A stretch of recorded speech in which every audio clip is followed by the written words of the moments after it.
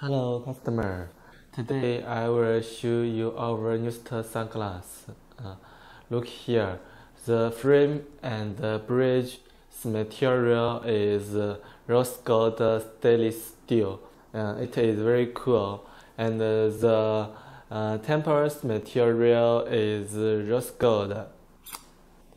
Mm. This is spring hinge, so if your head is very big, don't worry you can adjust it uh, and you can wear it uh, easily and uh, comfortable. Last, our MOQ is only two pieces, so if you are interested in it, you can tell us.